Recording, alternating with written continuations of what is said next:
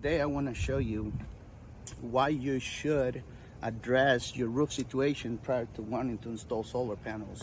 So as you can see right here, uh, the pitch on this roof is at three and a half and 12, 3.6 and 12, okay? So once you put that other tile, you know, there you can see it's almost nothing that you have in slope. Now, the code requires that if you're in less than a 4 and 12, you have two layers of underlayment, and this is the reason why. So, as you can see right here, there's plenty of uh, water stains right here, and then this underlayment right here, it, it already has a rip. There we can see the uh, the damage on the uh, on the plywood.